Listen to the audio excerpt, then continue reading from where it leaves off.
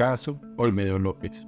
Se conoció otra denuncia en contra del exfuncionario de la UNGRE por estafa.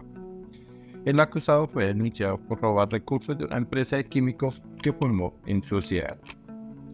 Por favor, suscríbete a MG Noticias. No olvides darle like a mis videos, activar la alarma para recibir las últimas notificaciones y apoyarme con nuestra causa a través de el Superfans.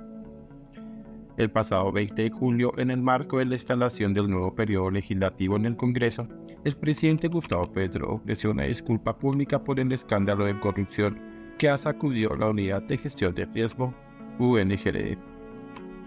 Este escándalo involucra al antioqueño Olmedo López, nombrado en la dirección de la UNGRE por Petro, pero cuyo desempeño ha estado manchado por graves acusaciones y confesiones.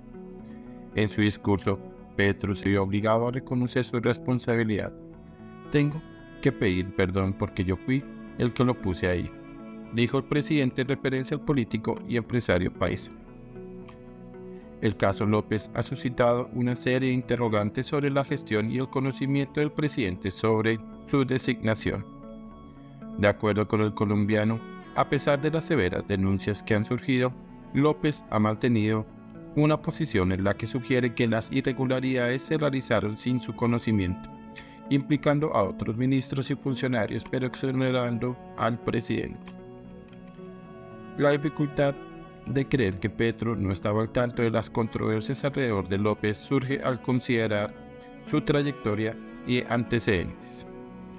Olmedo López, quien había sido militante del Polo Democrático, tenía un historial previo que debía haber encendido las alertas antes de su nombramiento en la UNGRE, una entidad con un presupuesto de 2,2 billones para 2023.